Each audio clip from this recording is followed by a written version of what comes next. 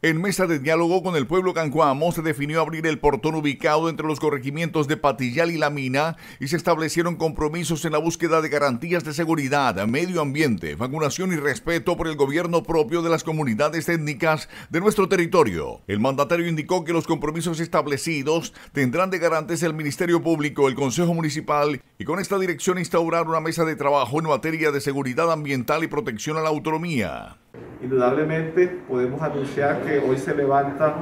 o se hace la apertura permanente de la estructura física para que facilite de alguna forma todas las dinámicas que se dan en torno a nuestro territorio, manteniendo la regulación a través de nuestra guardia de autoridad. Pero al mismo tiempo, para proceder en esa situación, generaremos unos espacios de trabajo frente a los diferentes objetivos y propósitos con instituciones del orden regional y nacional para que se den esas garantías mínimas y se proceda a hacer el levantamiento definitivo de acuerdo a esos espacios hoy aquí acordados. Yo celebro mucho la disposición que tiene el pueblo cancuamo, por supuesto el cabildo, el secretario, trabajando de una administración amiga,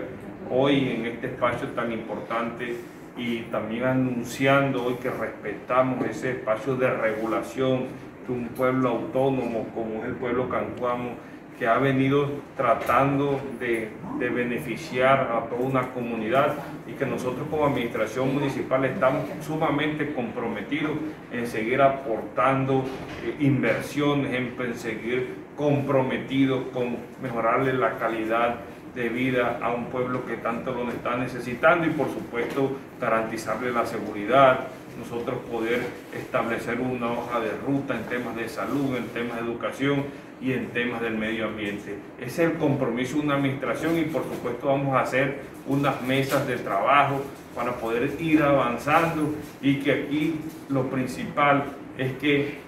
un pueblo amigo, una comunidad amiga, trabajó de la mano de una administración municipal y sacó adelante a toda una comunidad. En el grupo empresarial Carpio, conformado por Carpio Firma de Abogados y Carpio Bienes Raíces, Contamos con un equipo capacitado para brindar los más eficientes servicios de asesorías, consultoría, interventoría en el área legal, así como el área de la administración de inmuebles. Estamos ubicados en la calle 9A número 1557, en el barrio San Joaquín. Contáctanos al 316-666-1017.